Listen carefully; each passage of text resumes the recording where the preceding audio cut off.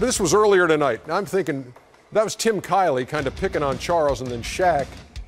Got your back, I was getting TK. concerned during this. No, Me and my That's a trainer been working on ground and a pound. concern. Okay, well, you know what? I've been You working on- good me and job. Jason been Watch this, working on ground and Watch this, pound. Kenny. This is and not all good, fall man. down. This is Here not go right now, good. Uh, it's- it's Yeah, Kenny. Yeah, Kenny. Turn him over, Kenny. round. One, two, three. Get him out of here. Get him out of here. Get him out of here. Chuck, man. See, they, they broke it up too soon. He says I didn't. I did tap not out. tap out. did. And listen, my condition would have taken over. I'm telling you, my condition would have taken over, So man. the beat down, is it on? Beat down- I uh, don't want to hurt the big. Down goes Barkley. Down goes Barkley.